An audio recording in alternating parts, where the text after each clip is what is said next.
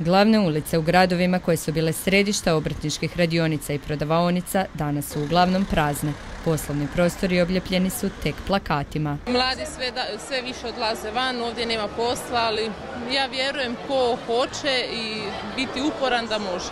Tako već deset godina uspješno vodi svoj obrt, proizvodi kolače i razne slastice.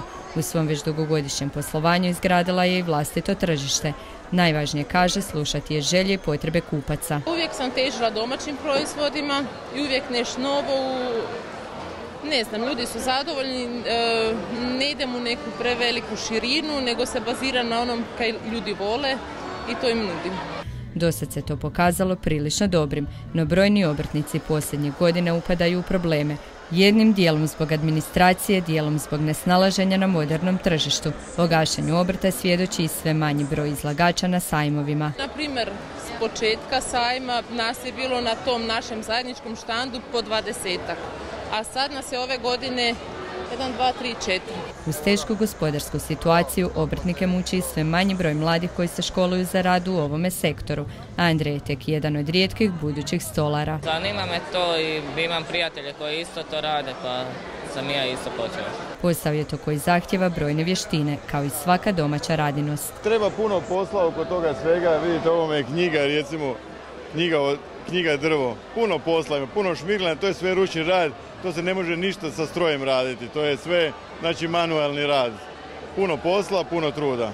Koliko vremena treba za jednu takvu? A treba dosta, sad zavisi kako je čovjek raspoložen. Puno posla koji se smatra još uvijek premalo cijeni, no to nije jedini problem obrtnika. Mi obrtnici ne tražimo ništa posebno. Mi želimo da nam se riješi problem oko neregistriranih djelatnosti, da se promijeni zakon o zabrani i sprečavanju neregistriranih djelatnosti, da zajedno utičemo na obrazovni sustav u dijelu strukovnog obrazovanja, jer bez kvalitetnog kadra naravno da nećemo moći preuzimati nove poslove. Slično razmišljaju i tehničari koji u Virovitičkoj školi vježbaju na najnovijim tehnologijama.